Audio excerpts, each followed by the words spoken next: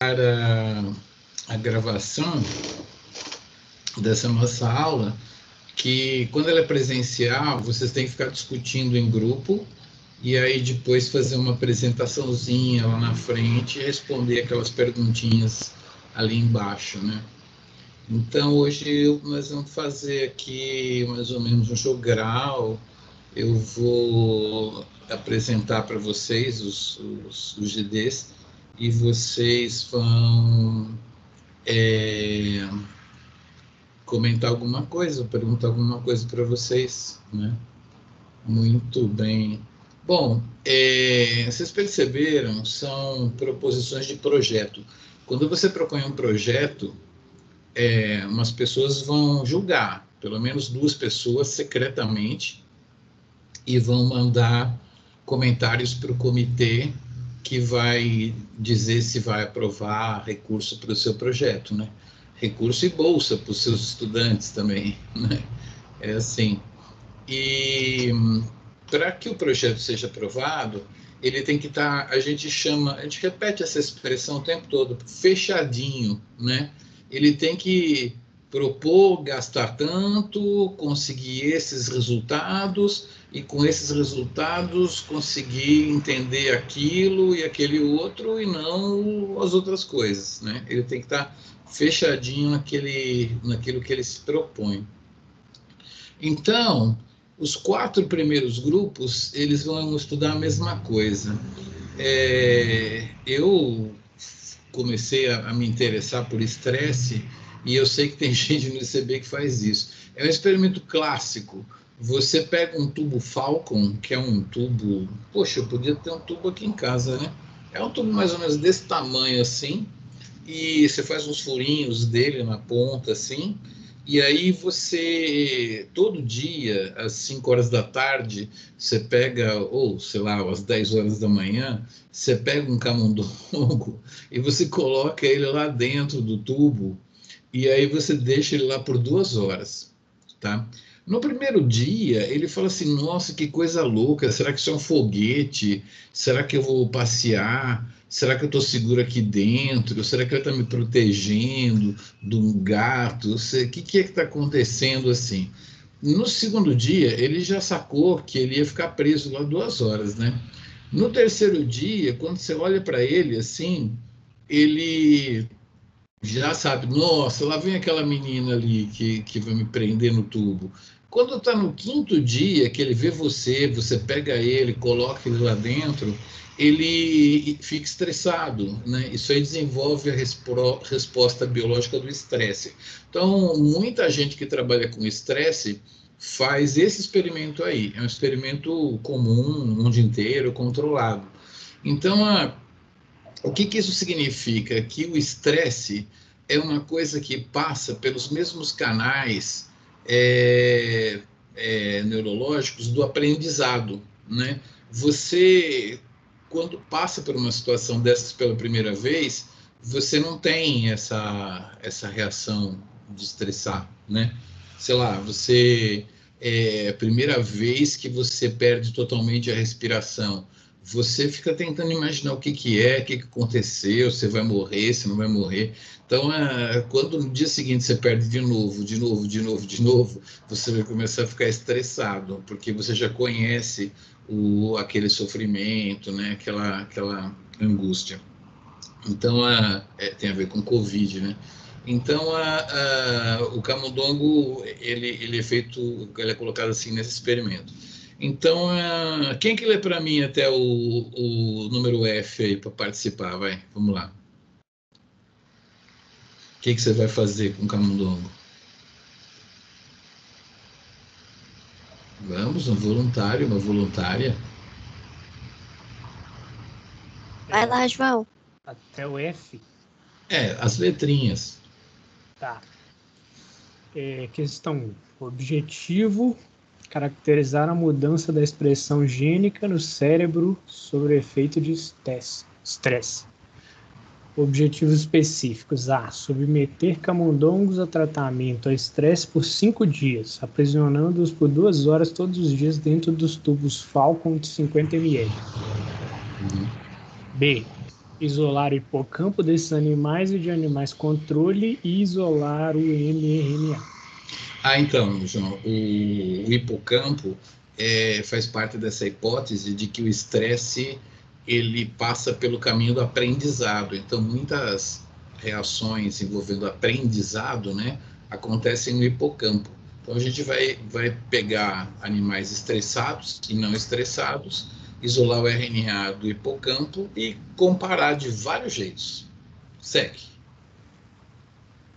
É, gerar bibliotecas de cDNA, clonar DNA em plasmídeos, eletroporar bactérias e semear placas com antibióticos, selecionando colônias.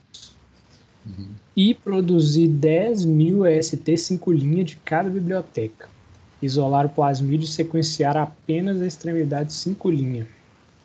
O que, que você não entendeu desse, desse tem C aí? O que, que eu não entendi?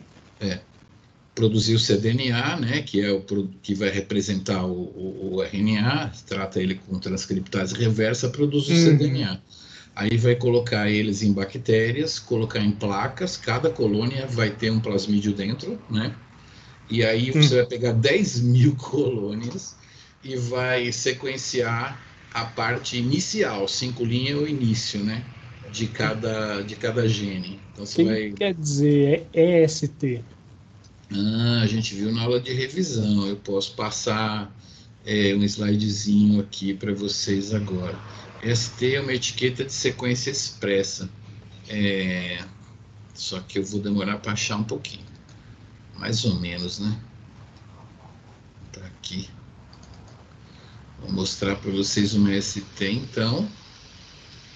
É, deixa eu ver aqui. Primeiro tem que achar o slide e compartilhe com vocês aqui. Ah, muito bem. Então, vamos compartilhar o slide. Tum, tum, tum. ST é Expressed Sequence Tag.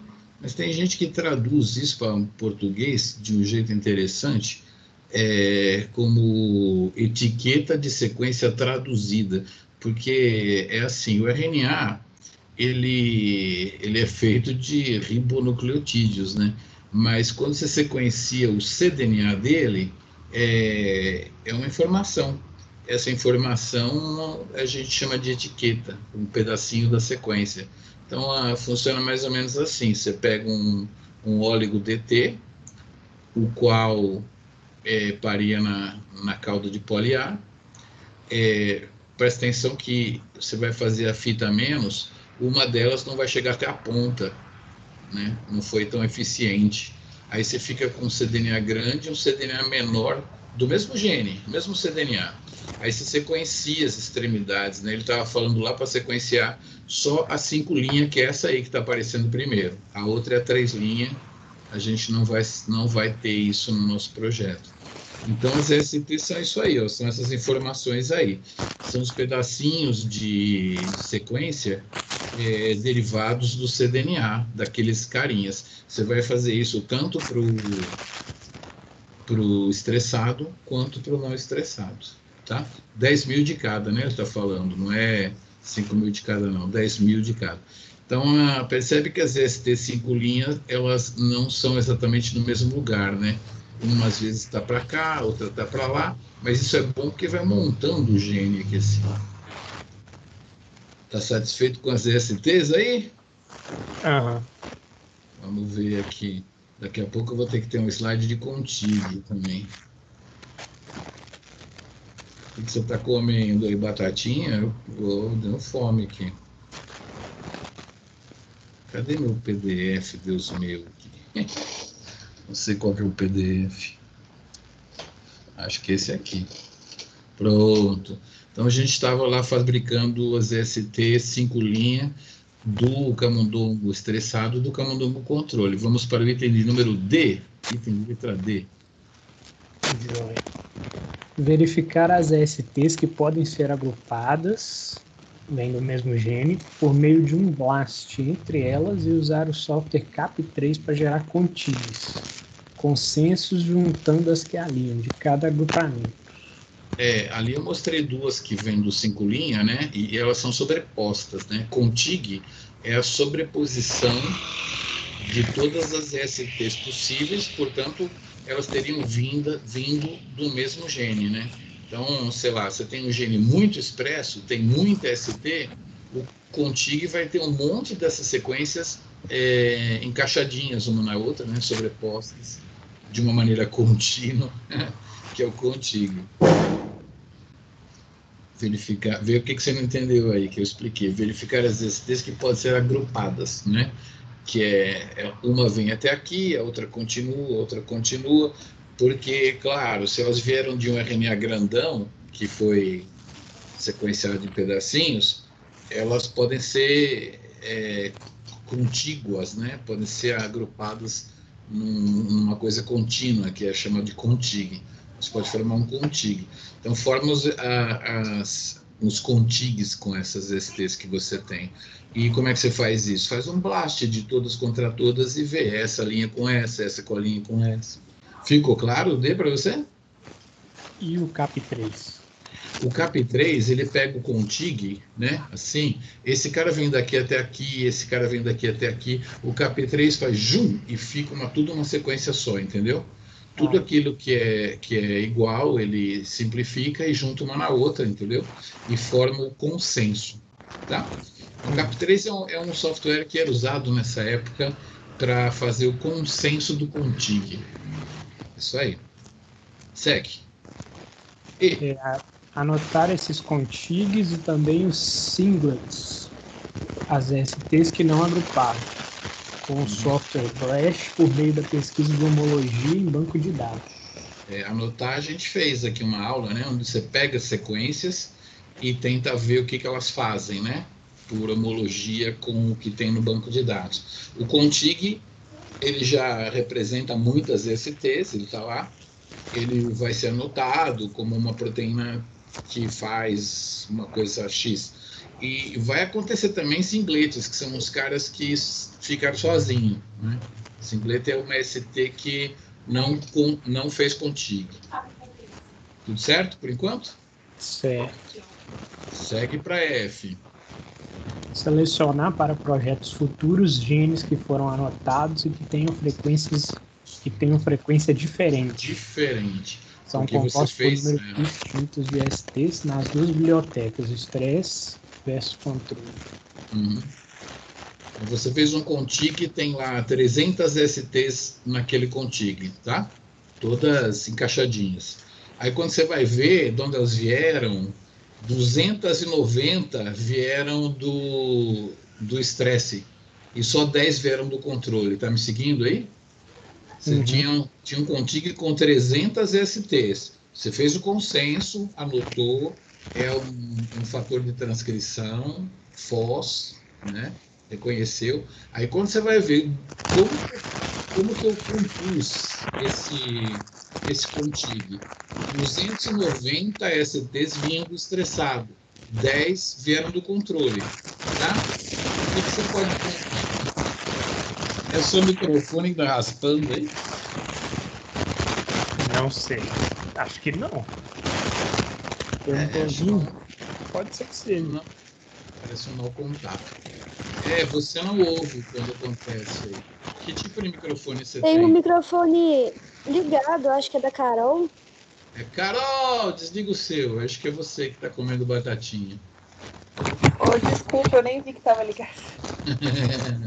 é batatinha que você está comendo aí, Carol? Melhorou? Melhorou?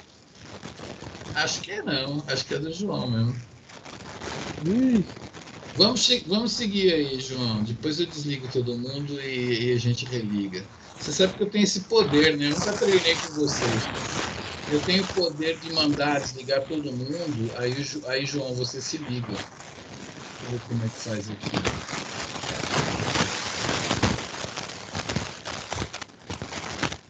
Cara, eu, eu não sei onde é nesse aqui. tá bom. Parou um pouco. Então, João, a gente estava em que letra mesmo? No selecionar para projetos futuros genes que foram anotados e que tenham frequência diferente. No meu exemplo, um contig foi anotado como, como fator de transcrição FOS e tinha 290 STs no estressado e 10 STs no controle. Me explica por que, que tem 290 STs no estressado e 10 no controle, João. Ah, é porque o, o camundongo ficou estressado e aí. Aumentou a, aumentou a produção desse FOS aí, né? Isso. O, o tecido lá do hipocampo. Então já você teria encontrado um gene que é diferencialmente expresso com um, um experimento bem simples, né? É um pouco caro, porque na época era mais caro, mas é bem simplório. Pega o, RNA, faz cDNA, coloca em plasmídio, sequencia os neguinhos, né? Trata com CAP3, papapá, para contigar alguns, né? Aqueles que não contigam, você faz o blast individual, anota. Aí vamos às perguntas aqui. Quer dizer, primeiro tem assim, validar a, expressão diferencial desses genes com experimentos de avaliação individual de expressão. É, João, todo experimento de grande alcance, como esse aqui, que, que é olhar todos os genes, ele às vezes erra. Então você precisaria fazer um experimento mais seguro, gene a gene. Eu tenho exemplo de, eu tenho exemplo de um gene chamado FOS, né? E é verdade, ele é induzido no hipocampo pelo estresse, esse, esse gene FOS. É, como que você estudaria, por uma técnica mais tradicional, a expressão de FOS? Nada desses negócios de olhar todos os genes ao mesmo tempo, só o FOS. Que técnicas que você tem à disposição para estudar se o FOS está mais expresso no estresse ou, ou, no, ou sem estresse? Pode pedir ajuda para os universitários. Universitários, me ajuda. Que experimentos que vocês viram aí com RNA que dá para saber se ele está mais mais está sendo mais produzido numa fase do que na outra? Ou no estresse do que no controle? Professor blot ia ser é, blot é mas qual que é o nome do blot quando é para RNA é o Northern Northern blot Northern blot também poderia ser um PCR de tempo real tá mas o que eu quero discutir com vocês não é o, o Norder e o PCR. O que eu quero discutir com vocês é que esses experimentos de larga escala, eles podem ter oscilações muito grandes, entendeu? Então aprendam isso. Sempre tem que pegar e confirmar com o Northern Blot. No caso do Northern Blot é, é, muito antigo, né? Ninguém compra mais P32, importar, né? É muito difícil. Então a, a, se usaria aqui um PCR de tempo real tem umas cinco máquinas. A última vez que eu parei de contar, o ICB tinha comprado cinco máquinas de PCR de tempo real e uma só dá conta, né? Se emprestasse para a galera. É, você compra o consumo, custa 5 mil reais, você compra o consumo para todo um TCC aí de vocês. E, e, aí usa a máquina dos outros, porque ela fica lá sem usar. Entendeu? É isso aí que, que é o que, que é uma MST 5 linha e uma MST 3 linha? Então, acho que eu mostrei lá, né? 5 linha é quando você conhecia o início do, do RNA e 3 linha é o outro lado. Aí eu pergunto lá, João, haverá algum gene que foi diferencialmente expresso? Tem 250 STs vindos do estressado e 10 STs vindo do controle Todavia, quando você faz um blast, ele não é homólogo a gene com função conhecida. Vai acontecer? Genes diferencialmente expressos, você provou, só que você não vai saber o que, que ele faz. Vai acontecer isso? Você acha? Pode ser que aconteça, não? Pode ser que aconteça. O camundongo tem genoma completo? Imagino que tenha. Tem. Mas a gente conhece a função de todos esses genes do camundongo? Hum, imagino que não. Então, vamos lembrar aqui: você fez o experimento, você teve uma tremenda diferença estatística entre um e o outro, todavia você não sabe o que esse gene faz, entendeu? Você pode fazer, para cada um desses genes, fazer um novo projeto, tentar descobrir a função dele. Mas presta atenção, meu segundo aviso de hoje. É, vai acontecer de você conseguir conhecimento de expressão gênica diferencial de uma coisa que tu não vai saber o que é, beleza? Entendeu? Isso aí. É preciso conhecer o genoma do organismo? Ele, o, o camundongo tem, mas é preciso, eu podia fazer isso aí com uma taioba, com uma barata, com, sei lá, com uma perereca da Serra do Cipó? Eu podia fazer o cDNA, sequenciar, fazer blast, eu preciso do genoma para fazer esse projeto? Eu acho que não. Não, o Blast vai me dizer as coisas, né? Não. Então, isso aí é um projeto que a gente, as últimas vezes que eu vi ele sendo feito no ICB, foi com oxiúrios, foi com mais um outro negócio, acho que era uma batata, eu sei que a, a, a, professora Glória fez, a professora Hélida, da Parasito, é, é, tem duas, né? A loira lá, da Parasito, fez também. É, em tempos que quase nos fazia mais. Só que é, é, elas tinham os materiais lá, entendeu? É um projeto muito fácil. Então, deu umas belas, é, uns belos TCC aí, no caso das duas, com esse projeto aí, assim, deram uma ressuscitada nesse projeto. É claro que fazer em larga escala, gastar 2 milhões de reais, como a gente gastou na rede Genoma, ninguém faz mais. Né? Onde estamos? Identificar o ponto fraco desse projeto, João. Ponto fraco? É. Você pegou os CDNAs e você tinha dinheiro para produzir 10 mil sequências de cada um, né? certo? Quantas vezes você acha que você vai sequenciar nesse seu, nessas suas 10 mil as enzimas da via glicolítica? Quantas vezes? Uma vez só ou muitas? Muitas. E a, os RNAs que codificam as proteínas do ribossomo? Também muitas. Os RNAs que codificam as histonas? Hum, entendi o ponto fraco. E, e, e, aqueles RNAs que, que codificam um fator de transcrição importantíssimo para regular as coisas, só que eles são feitos em muito baixa quantidade. Você vai mostrar eles? Não. Pouca então, chance, né? De... É porque 10 mil não é uma. É assim, isso requer prática, né? Mas 10 mil não é uma cobertura monstruosa, e mesmo que você sequenciasse 100 mil, 1 milhão, sempre ia ter gene que ia ficar escondido, entendeu? você não ia conseguir. Então, a gente costuma dizer que para genes, genes raros, é, você não ia conseguir amostrar, pelo fato de que você está fazendo um sequenciamento com redundâncias, né? Então, isso atrapalha.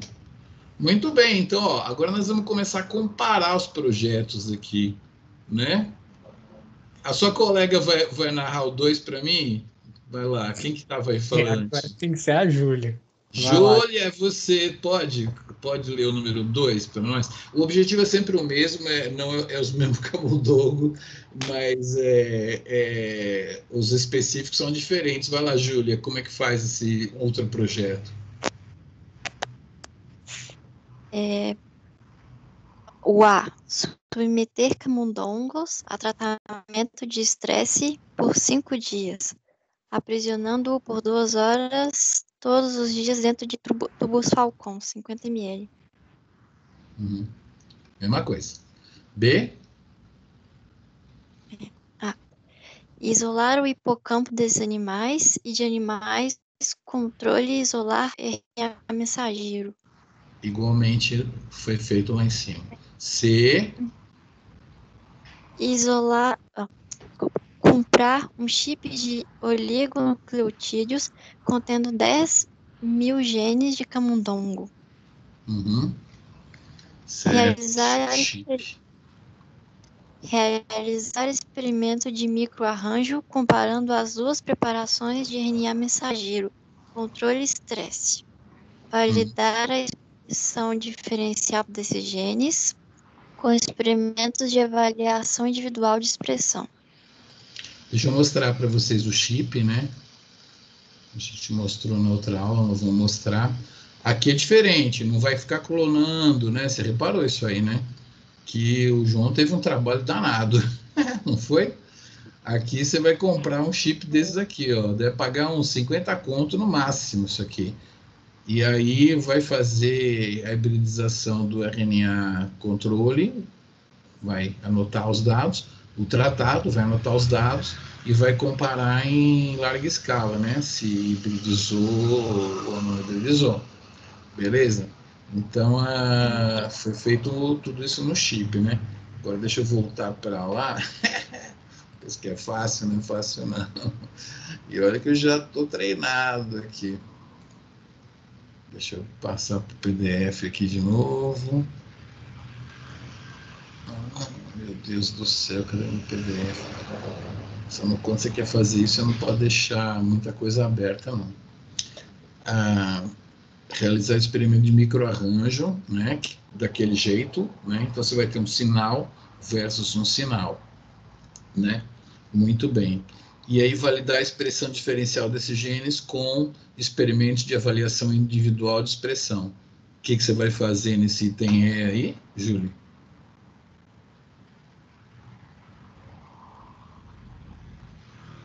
Né, Júlio? Minha apareceu. Desculpa que me apareceu aqui. Repete a pergunta? Ah, nesse item E, validar a expressão com experimentos de avaliação individual. O que, que você vai fazer aí?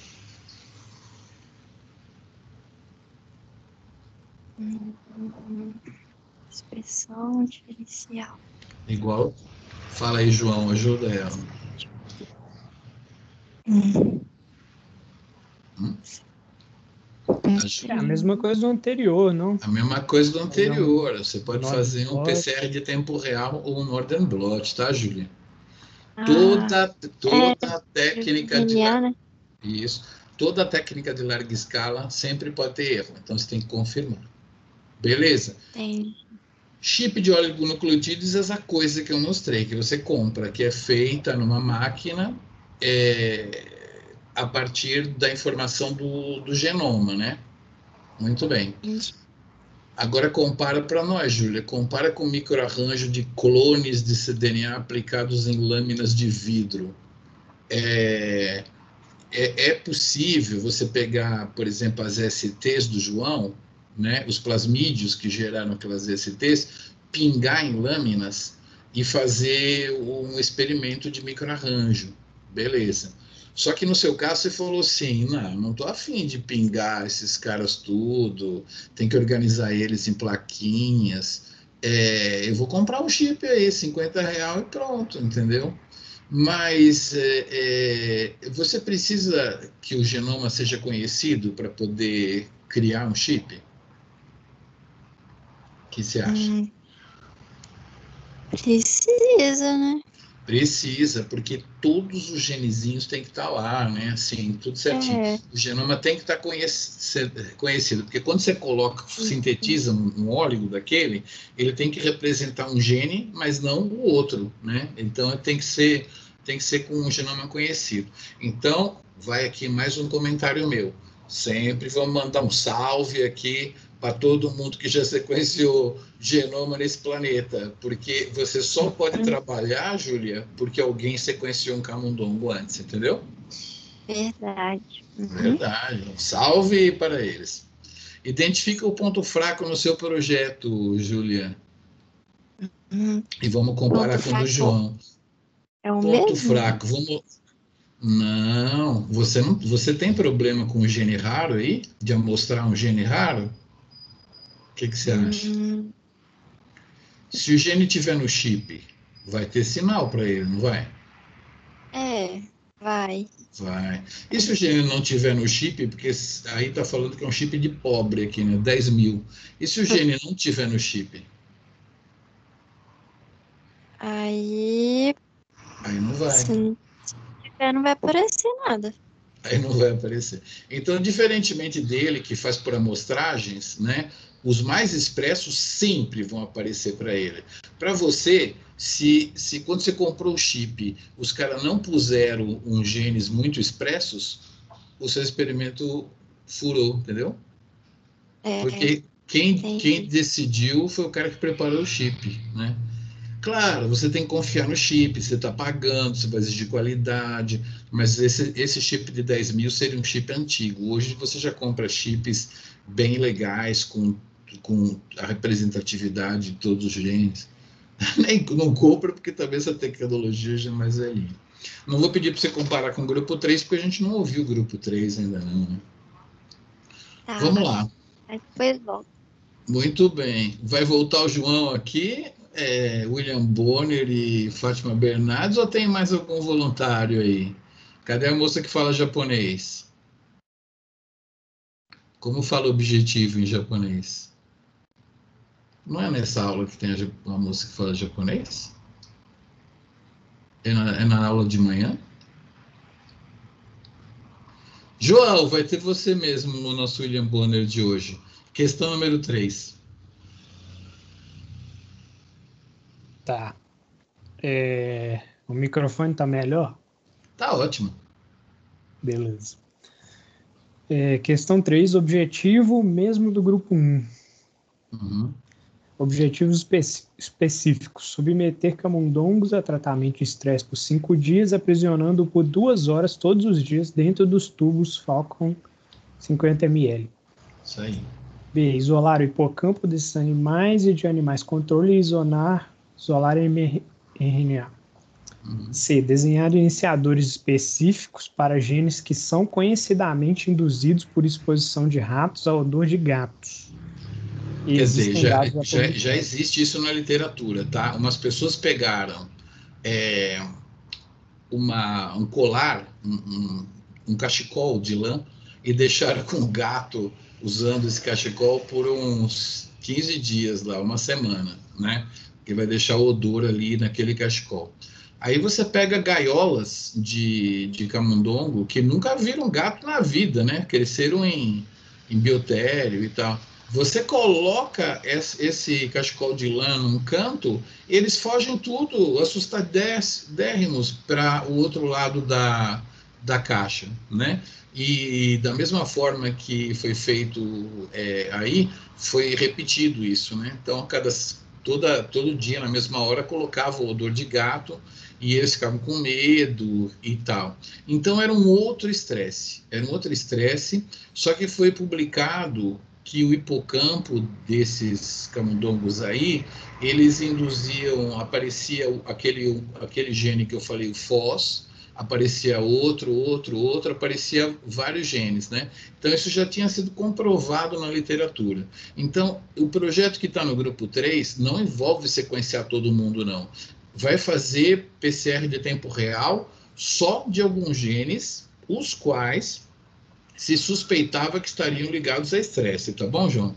Então vamos lá, aqui tem que a gente estava lá, desenhar iniciadores específicos para fazer PCR de tempo real Hum, para, uns, para alguns genes conhecidamente induzidos por exposição de rato ao odor de gato, né? Então você vai pesquisar um conjunto de genes. Quantos genes você quer pesquisar, João?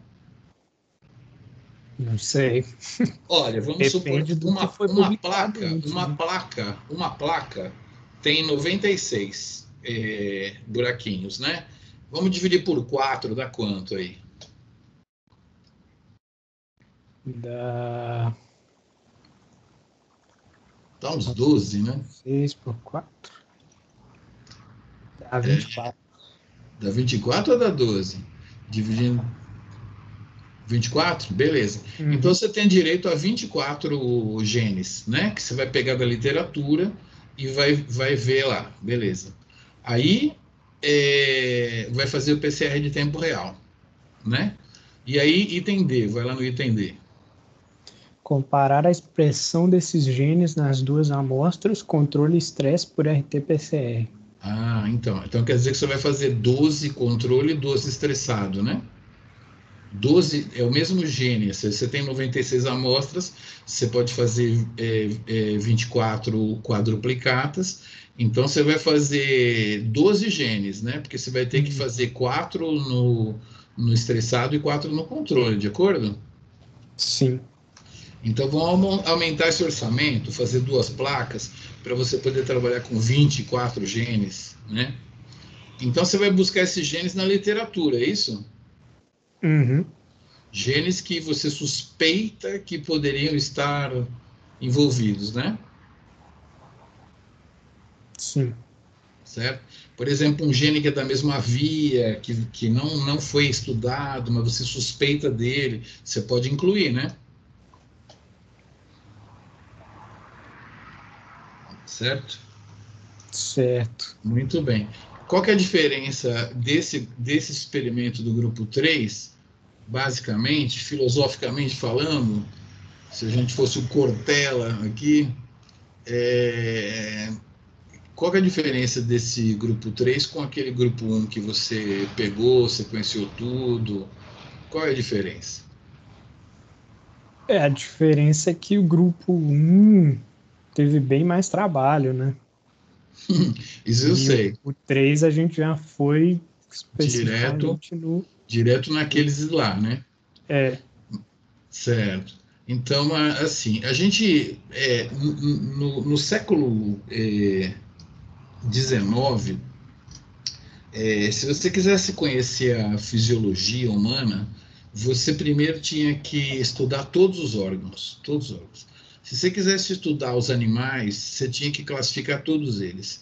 Se você quisesse estudar as estrelas, você tinha que os planetas, tinha que estudar todos eles, né? No século XX, começou a se usar uma coisa chamada hipótese, né?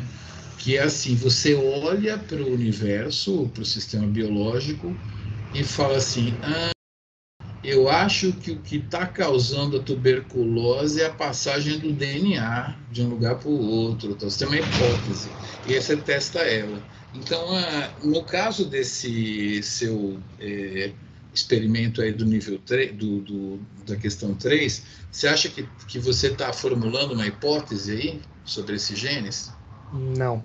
Está testando uma hipótese, né? Não, é isso, está testando uma hipótese, né? A sua hipótese de que esse, o, o, es- o estresse é, com relação ao gato pode ser parecido com o estresse causado pelo tubo, né?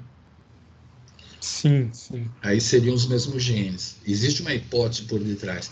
No caso do grupo 1, tinha uma hipótese, assim, de, de o que, que aqueles genes estavam fazendo. Você basicamente sequenciou tudo, né? Depois que você identificou o gene, você ia ter que contar uma história sobre por que, que aqueles genes estão envolvidos, né? Eu vou Hum. te contar, vou te contar casos reais, João. As pessoas gastam maior dinheiro com experimentos do tipo do grupo 1, todos esses experimentos de high throughput, de, de grande produção de, de dados, e às vezes saem umas enzimas da via da pen- das pentoses, entendeu? E aí você tem que explicar no relatório final do projeto o que, que a via das pentoses tinha a ver com estresse, entendeu? Você tem que criar uma história no final, é, porque aparece isso, cara, aparecem uns genes muito comuns e tal, né? Então, assim, você, quando você fez o experimento do grupo 3, você já sabia o que, que você queria esperar. Ou os dois estresses eram parecidos e iam ser os mesmos genes, ou é, os estresses não tinham nada a ver e iam aparecer genes diferentes, não é? Sua explicação já estava pronta antes de você fazer o experimento, né? Por isso que a gente fala que trabalhou com uma hipótese. Então, tem gente que está tentando se acostumar com o século XXI agora, porque tem muito experimento que descreve tudo o que está acontecendo, mas como não tem uma hipótese, na hora de ter os dados, você existe ferramenta para analisar isso, mas meu, às vezes você não consegue entender o que está acontecendo direito, sabe? Você investe milhões, aparece lá 40 genes diferencialmente expressos, e aí você vai ter que lutar para descobrir por que, que aqueles caras estão envolvidos nisso, sacou? A realidade do nosso século XXI Uhum. é uma diferença muito grande. Muito bem, estamos indo bem. Ó. Eu não sabia quanto que a gente ia conseguir avançar hoje, mas é, nós vamos conseguir ver o grupo 4. Eu vou até apresentar um slide aqui antes da Júlia me ajudar. Deixa eu apresentar um slide aqui antes, que é Caraca, cadê meu, meu slide aqui? Acho que é esse. É, deixa eu ver aqui. Esse aqui é microarranjo. Cadê meu, meu negócio aqui? Esse aqui, né? É, então, é, deixa eu ver, não tem aqui uma formatação, não, não é esse. É, então, é, o, o, próximo experimento ele vai mudar o campo de ação. Ele vai trabalhar com proteínas. Você vai pegar as proteínas do hipocampo, vai colocar num, num gel bidimensional. Primeiro você faz uma focalização isoelétrica que separa as proteínas pelo ponto isoelétrico dela, que é quando elas ficam com a carga neutra, né, elas param de migrar nesse bagulho aqui. Então, o primeiro tubinho separa por ponto isoelétrico, aí você faz um gel de poliacrilamida desnaturante, é, põe elas para correr aqui, né? Então, você vai ver, reparar que você tinha na verdade, quatro proteínas vermelhas, um, dois, três, quatro, cinco azuis, e você tem uma figura mais ou menos desse tipo. Aí você compara estressado contra o normal, vê se tem uma proteína só no estressado, e aí você coloca no espectrômetro de massa, pelo time of flight, você consegue determinar o peso molecular exato dela, e com essa informação você vai identificar ela como beta-lactoglobulina. Não é o caso do nosso aqui, ela é envolvida com conhecimento, mas pode até ser, é, vai saber, né? Então vamos, vamos dar uma olhada no nosso PDF aqui. Tá picando a minha voz para você, Júlia? Não, tá ótimo. Tá ótimo. Então me ajuda com a 4, Júlia. É o mesmo, mesmo, mesmo objetivo inicial lá, mas vai lá, vai. Quais são os objetivos específicos desse projeto 4? É, submeter camundongos a tratamento de estresse por cinco dias, aprisionando os isolar o hipocampo desses animais e purificar proteínas nucleares. Opa, está escrito, tá escrito, aí só as nucleares, né? Já tem um fracionamento aí. Purificar as nucleares. Vai lá nascer. É, comparar o perfil de géis biodimensionais das duas amostras controle e estresse. Tá, então você vai ter géis do estressado e géis do controle. É, tá. Isolar e analisar em espectrometria de massa os spots, manchinhas diferentes nas amostras. Isso, que eu não é. expliquei. É. Comparar o. Oi? Vai lá, segue na E. É isso mesmo. Isso.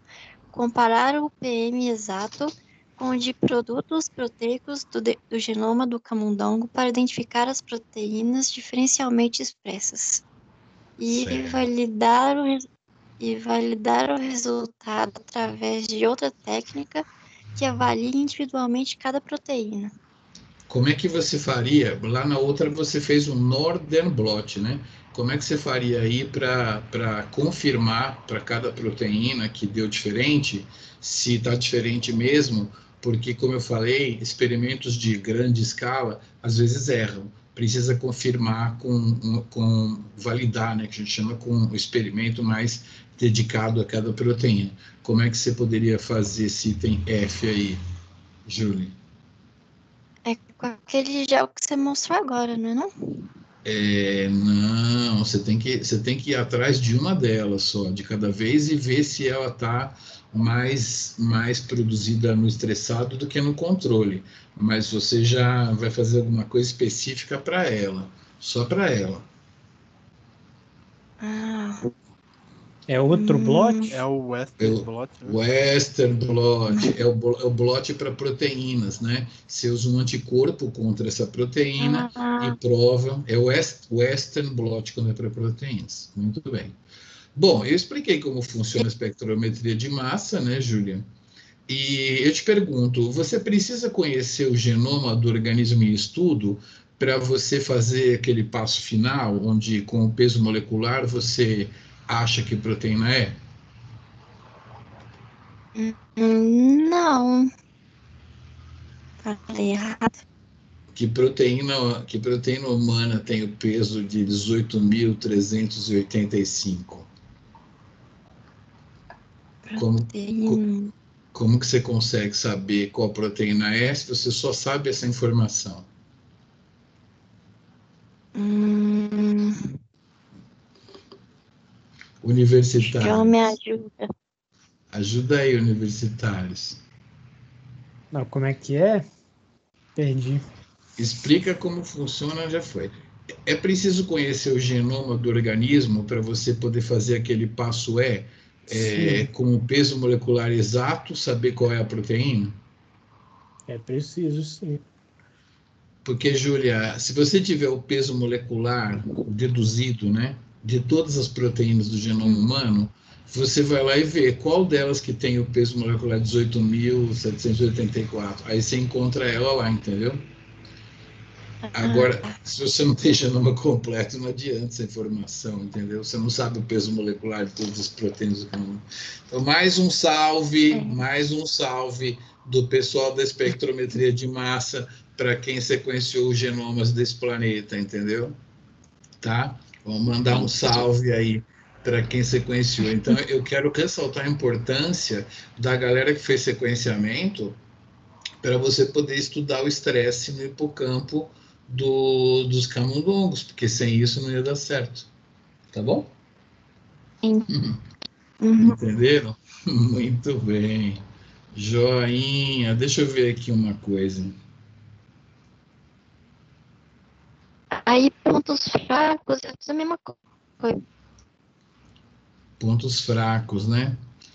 Você, você dedicou o- o- a sua análise a, a proteínas nucleares, né? E se a diferença for uma proteína de membrana, você vai conseguir descobrir?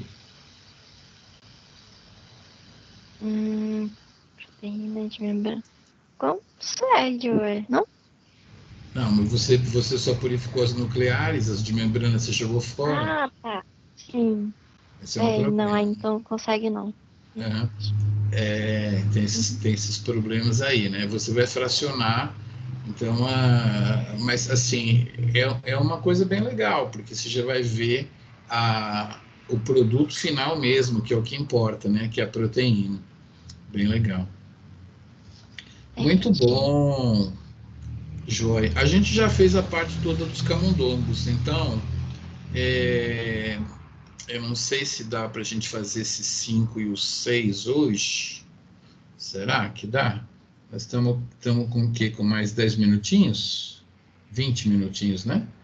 20, mais 20 minutinhos. Então vamos tentar aqui. Vamos botar o João de novo aí. Eu tenho mais, tenho mais uma voz, uma voz masculina aí falando aí hoje. Quem que pode ajudar aqui hoje? Ou vai ser o João? Por mim, tanto faz. Quem que me ajuda com o, quem que me ajuda com o outro número João. 5? É um outro Pode João? ser eu É mesmo. dois João. Vai lá, então, você mesmo. Questão número 5. Vai mudar. A gente. Até aí está escrito couve. E eu não sei se já tem genoma couve. Eu acho que talvez tenha. Eu não sei. Mas se, no- se a couve já tiver genoma, vamos pensar em taioba no lugar da couve. Vai. Vamos lá. Vamos supor que é uma taioba, tá bom, João? Vai lá. Questão 5. Tá. Objetivo. Objetivo: descobrir genes envolvidos na resistência da taioba ao fungo que produz a ferrugem. Ferrugem. Ferrugem ataca a couve e deve atacar a taioba também. É um, é um fungo. Vai lá, o que, que você vai ter que fazer para produzir o projeto? Vai lá. Objetivos específicos: A. Isolar o fungo de cultivares infectados no campo, submeter cultivares à infecção com fungo em casas de vegetação. Ó, se vocês não aprenderem nada de biologia molecular, pelo menos vocês aprenderam como chamar umas plantinhas que você levou lá para a estufa para fazer experimento com elas, tá bom? Então são os cultivares, tá? A galera chama cultivares o quê? Aquelas plantinhas lá que, né? é, que estava infectada no campo, que você vai infectar lá na, na casa de vegetação. Chama cultivares isso aí, vai lá. B. Extrair o RNA de folhas após 48 horas de infecção e de folhas controle e purificar o mRNA. Certo. Então você tem controle tratado igual no outro caso. C. Utilizar as milhares de STs presentes no banco de dados, DBST, verificar as ESTs que podem ser agrupadas, vem do mesmo gene, por meio de um blast entre elas e usar o software CAP3 para gerar contigs. Mesma coisa que foi feita é, com o lá, né? Isso. Cada agrupamento. D. Anotar esses contigs e os singlets com o software Blast, pesquisando homologia em banco de dados. Depois pedir Beleza. aos laboratórios que geraram as STs um clone de cDNA representante de cada contig e um clone de cDNA para cada singlet. Ou seja, tu vai escrever um monte de e-mail, né? Quem sabe seja só uns cinco laboratórios, aí você vai pedir o clone de verdade, né? O plasmídio com o cDNA representante de cada um gene que você já sabe a sequência dele, o que, que ele faz, beleza?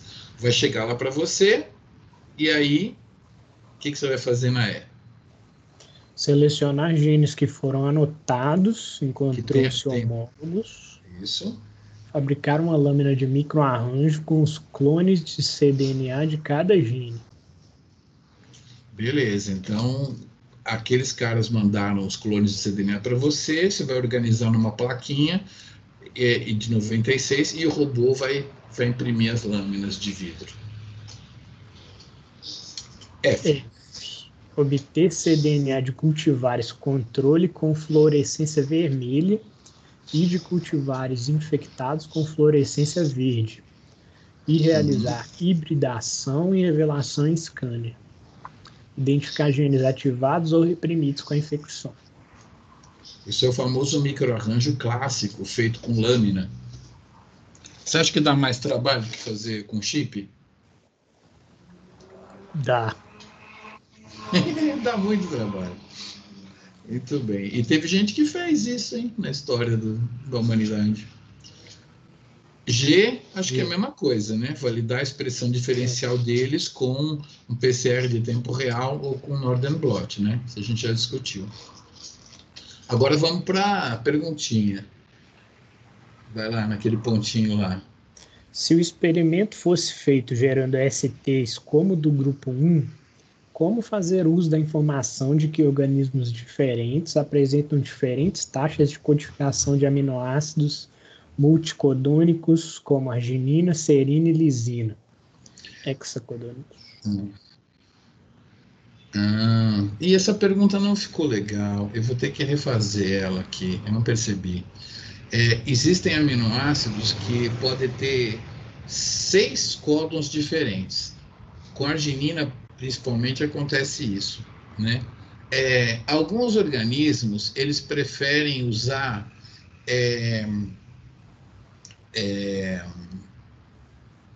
desses seis, eles preferem usar quatro e não outros dois.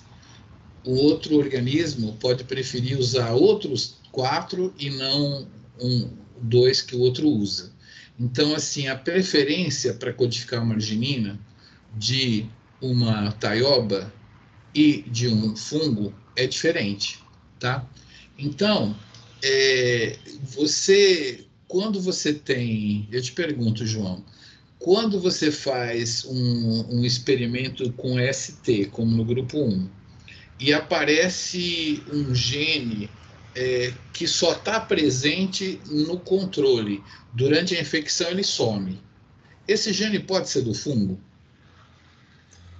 Não. Não, né? Agora, e se o gene não está presente no controle, mas ele está presente na infecção? Pode ser do fungo esse gene? Pode ser, pode não ser. É, pode ser, pode não ser, né? Então, é, se você analisar como que esse gene aí que apareceu após a infecção codifica as argininas, Você acha que você consegue talvez ter uma pista de se ele é do fungo ou se ele é. Hum, uhum. né? Entendeu? Sim. Então, assim, tem uma saída. É porque, lembra, o austório vai ficar dentro da folha, né? É muito difícil você isolar o RNA da infectada sem pegar RNA de fungo. Então, a, o, o, os genes que aparecem com a infecção pode ser do fungo. Os que somem, não. Eles são da planta, claro. Sumiu. Ele estava na planta e sumiu, não tem nada a ver. Agora, os que aparecem, você pode fazer isso. Olhar como que as argininas estão sendo codificadas. E dá para saber se é, se é um, um gene de planta ou se é de fungo. Muito bem. Eu te pergunto, é necessário conhecer o genoma do organismo em estudo, a nossa taioba, no caso, para você pegar os clones de quem já trabalhou com taioba, pingar na lâmina, fazer esse projeto? É, acho que não. Não precisa, É não a precisa. taioba nem tem. Não precisa. Todos os genes que você colocou ali, é, eles foram anotados por, por BLAST, não é não? É, ninguém, ninguém, ninguém fez genoma de nada, não. Então, é, é- é- essa diferença que eu quero propor para vocês. Existem alguns projetos que você pode fazer sem genoma completo e outros que a gente faz muito só porque tem genoma completo. Muito bem. Qual é o ponto mais fraco que você viu nesse projeto aí, comparado com os que foram feitos lá com o grupo 2, que usou um chip, projeto da Júlia? O que, que você achou mais É. fraco nesse projeto? Ele é muito parecido com o chip, né? Faz Hum. também uma espécie de hibridização lá. Qual que é o mais fraco ponto desse projeto aí? Trabalho que dá. trabalho que dá, né? É um trabalho enorme, é muito trabalho. Muito bem, muito bem. Então, vamos para a Júlia aqui, Júlia. Grupo número 6, o que, que a gente tem aqui no 6? Depois eu deixo os outros dois para a próxima aula, mas dá tempo. Fala, Júlia, você está aí? Tô aqui. Vamos para o grupo 6. Isolar o fungo de cultivares infectados no campo. Submeter cultivares à infecção com fungo em casa de vegetação. Igual. Extrair proteínas de folhas após 48 horas de infecção e de folhas controle e separar em géis bidimensionais. Aí tá diferente. Vai trabalhar com proteína agora, isso aí. É. Comparar o perfil de géis bidimensionais das duas amostras, infectado e controle. Sequenciar o É, N é, Júlia, é terminal. parecido, é parecido com o, o trabalho feito no grupo 4 que você também apresentou, né? Que é proteômica, Ah. geobidimensional e tal. Vai para a letra D, D lá, como é que vai fazer com a D? Sequenciar o N terminal dos spots, manchas, diferencialmente expressos pela técnica de Edman. Identificar por similaridade com bancos de dados o possível gene, utilizando para este fim o programa BLAST. Validar Ah. a expressão diferencial. Quer falar alguma coisa? Eu quero mostrar sequenciamento de Edman para a galera. diferencial. Peraí, peraí, peraí, Júlia. Deixa eu, deixa eu mostrar o sequenciamento de Edman para a galera aqui, né? Sequenciamento de Edman você vai fazer com uma manchinha, né? Você pega a proteína, liga com PTH aqui, ó, fenil isotiocianato aqui. Aí é, isso aqui elimina o primeiro aminoácido. Aí você faz uma cromatografia, vê que é uma metionina. Depois elimina o segundo, vê que é uma prolina, né? Então, você consegue fazer uns 35 até 50 eh, resíduos de aminoácido eh, com isso daí, tá? Já é suficiente para fazer um blast, tá bom? Então, deixa eu compartilhar aqui de novo o nosso, o nosso PDF aqui, beleza? A gente estava em que letra mesmo, Júlia, que eu te atrapalhei aí? Na E, né? Ah, Identifica, no pegou a sequência do, do, do D e, e identificou por similaridade com utilizando o programa BLAST, certo? Muito bem.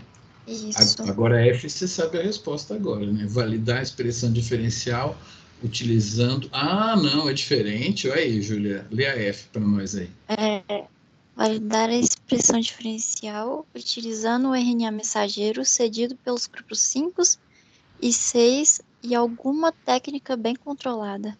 Certo. Então você tem é, você tem aí o- os, os RNAs, né, do grupo 5 e 6 e, e vai fazer uma validação para saber se um determinado gene está mais expresso numa situação ou na outra, né? É, então você vai fazer um PCR, um PCR de tempo real, né? Isso, exatamente. É porque provavelmente você não vai ter um anticorpo contra a proteína da taioba para validar por, por Lester blot, entendeu? Provavelmente não. Bom, já bidimensional a gente já explicou. Por que, que é melhor sequenciar o N-terminal daquela manchinha diferencial ao invés de colocar no espectrômetro de massa? Por quê? Hum, Por quê? Por que, Porque que você não tem o genoma? Porque não tem o genoma, Júlia, né? É. Sem o É. genoma, você não ia descobrir nada. Vai ter uma proteína da taioba com peso lá, e o que, que você faz com isso? Então, são, são abordagens diferentes, mas que não, ninguém fica na mão. Nesse mundo, ninguém fica na mão. Tem genoma completo, é mais fácil. Não tem, usa BLAST, entendeu? É isso daí. É porque você com proteína. Entendi. Tá? Você, você sequenciou um pedacinho da proteína com aquela tecnologia lá, né? Muito bem. Então, a... vamos fazer a 8 agora, João. Eu vou pular a 7 aqui um pouquinho e vou deixar para vocês a 7 pensarem mais em casa, a gente vê na próxima aula. Vamos para essa 8, João, que eu quero ver se você lembra. Lembra, lembra, lembra. Espera aí que eu vou ver se eu compartilho. Não sei se eu tenho. O pior é que eu não sei. É melhor a gente voltar. Espera aí. Vamos. Vamos ler lá. Enquanto, enquanto você fala aí, eu procuro. é, Eu procuro na minha apresentação aqui para saber se eu tenho esse slide aqui ou não. Né? Eu acho que está numa outra apresentação. Eu acho que está numa outra apresentação. Eu vou abrir a outra apresentação aqui. Vai lá, então. É, mostra para nós, assim. Vamos lá, João. Você tá, vocês estão vendo o PDF aí, então, né? Vamos na 8, João? Vamos. É, em termos de RNA, o sequenciamento em massa chamado RNA-seq, não, Pode ser RNA-seq, é a ou abordagem RNA-seq. É, um- qualquer uma das duas serve. RNA-seq funciona.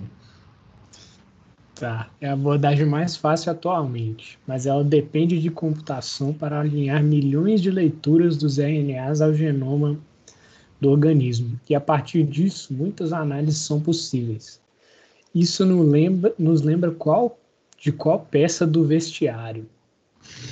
Lembra que tá vendo tem um afunilamento, né? Milhões de leituras se afunilam para um genoma só. E com esses dados desafunila para muitas análises possíveis. A que peça de vestiário isso é similar? Ajuda dos universitários! Ah, não acredito, vocês viram isso? Não?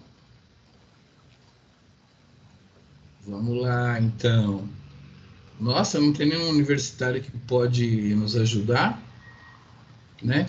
Em vez de microarranjo, se usa você pegar é, todos os RNAs, milhões, todas as leituras, né? Você vira, vira cDNA. Alinha no genoma e do alinhamento você extrai muitos dados, né? A que peça de vestiário isso Hum, se refere, né? Alguém sabe como é que se fala gravata borboleta em inglês? bow tie. Bow tie, bow tie. Então é só para lembrar para vocês que o bow tie é um dos programas mais clássicos. Hoje se usa um chamado Star também, tá? Mas é, o bow tie era a resposta à nossa pergunta. Gravata borboleta. Muito bem. Segue aí, onde é que nós estava lá? Vestiário. Segue Há lá. um outro programa chamado Trinity, que é capaz de pegar todos os milhões de leituras e, como mágica, recriar as moléculas de RNA. Isso pode ser feito com a taioba, mas como saber quem são os genes mais expressos e menos expressos nessa montagem que ele fez? Como? Como? Como você sabe? Porque você montou todo o transcriptoma da taioba magicamente com, com esse programa chamado Trinity. Trinity. tá? Então você tem todo o transcriptoma da taioba na sua mão. Como que você vai saber o que, que cada um desses RNAs faz? Você sabe. Você sabe. Eu sei. Claro que sabe. Você já falou aí? Como? Você tem um monte de, de RNAs na sua mão e você quer saber a função deles. O que, que você faz? Eles são todos da taioba. Hum, O que, que você tô vendo. Universitários, ajudem, porque ele já respondeu isso já. trás, né? Júlia. Júlia, ele respondeu isso hoje. Olha aqui, João. Se você tem genoma completo, você ancora essas leituras todas que você sequenciou, RNA, ó, seu RNA-seq todo, você no computador ancora no, no genoma do carinha, e aí você identifica os genes e sabe quais que estavam mais expressos, quais que não estavam, por essa ancoragem. Se não, você pode rodar o Trinity e o Trinity monta os RNAs sem genoma completo, entendeu? Hum. Aí você tem esses caras aqui, mas como que você vai saber a função deles? Você compara com banco de dados, entendeu? Uhum. né, com BLAST. Então, é, não tem problema RNA-seq de uma arraia, de uma borboleta, de uma perereca da Serra do Cipó, de um girino, entendeu? Não tem problema. Você vai usar o Trinity e o Trinity magicamente consegue recompor todo o transcriptoma lá, né, no computador. Aí você faz um blast disso tudo e aí você vê se um gene está mais presente, está presente numa amostra ou na outra, entendeu? Então você consegue é, hoje em dia com RNA-seq é, superar os problemas todos que a gente possa ter lá, tá bom? Eu vou deixar aquela questão 7 para vocês meditarem, e porque deu nosso horário aqui hoje, e aí vou parar aqui a nossa gravação, né?